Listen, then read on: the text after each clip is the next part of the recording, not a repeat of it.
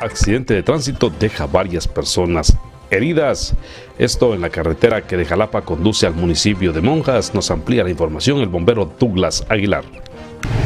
Sí, se reporta un accidente de tránsito, lo que es Caserío Malpaso, ruta que conduce de Jalapa hacia el municipio de Monjas, en donde se nos informó de este accidente, en donde pacientes eh, que se trasladaban en el vehículo ya eran trasladados en un vehículo particular el cual al momento de encontrarnos con dicho vehículo se hizo el transporte respectivo a nuestra unidad bomberil, en donde se traslada a Sonia Iliana Flores Espino de 38 años de edad, la cual presenta posible fractura de brazo derecho y dolor en el cuello. Asimismo a Carlos Humberto Escobar del CID de 40 años, el cual presenta abrasiones en el hombro izquierdo. También se traslada a Carla Velázquez de 30 años de edad, la cual presenta 8 meses de gestación.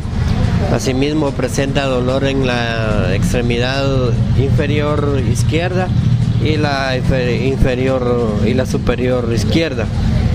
También se traslada a Evelyn Iliana Escobar Flores de un año tres meses, la cual presenta dolor en la extremidad inferior izquierda.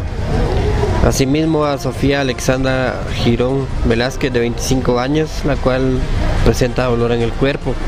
Asimismo también se traslada a Suseli eh, Stephanie Velázquez Escobar de 19 años, la cual presenta dolor en el cuello y hombro derecho. ¿Cómo les manifestaron a ustedes qué fue ocurrió este incidente?